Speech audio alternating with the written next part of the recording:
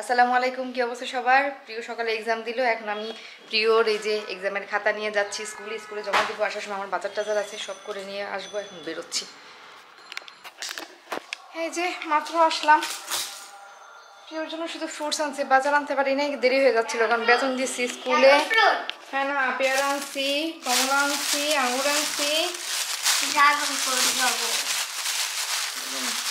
এই সিজনে আমি ড্রাগন ফ্রুট কোথায় পাবো?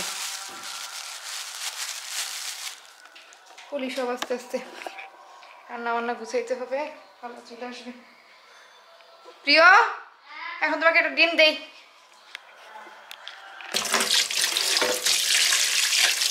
চিকেন ভিজায় এখন যাব নিয়ে কুকিংয়ে আমি দেখি দৌড়ের মধ্যে আছি।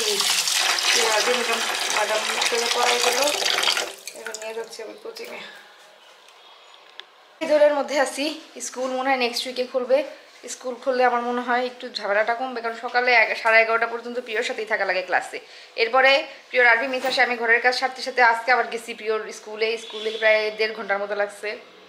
আবার আসার পরে ঘরটোর ঘরের কাজটা সারলাম এখন আবার কোচিং প্রিয়রও রেস্ট হচ্ছে না ঘুম টুম হয় না দুপুরে বেরোচ্ছি। সবাই লেট হয়ে গেছে। সবাই নিছো? দিছি তাই? ওকে গুড প্রিয়কে কোচিং থেকে এনে রান্না বান্না করছি। তারপর কত কাজের ঝামেলা। প্রিয়রে কোচিংয়ে দেওয়ার পর আমি কোনো কিছুর কোনো সুযোগ পাচ্ছি না। তো রান্না, প্রিয়র বাবা আর প্রিয় খেয়ে দিয়ে শুয়ে পড়ছে আগামীকাল ফ্রাইডে তো নর্মালি তোমরা ফ্রাইডেতে বের হয়ে আগামীকাল বের হওয়ার কোনো প্ল্যান নাই। বাসায় রেস্ট নেব।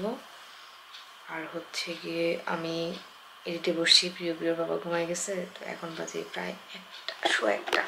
আজকে আর বেশিক্ষণ পর্যন্ত এডিটিং না, এখনই আমার কাজ শেষ, তো আমি এখন শুয়ে পড়ব।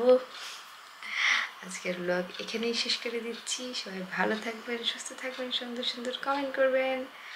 আল্লাহ হাফেজ।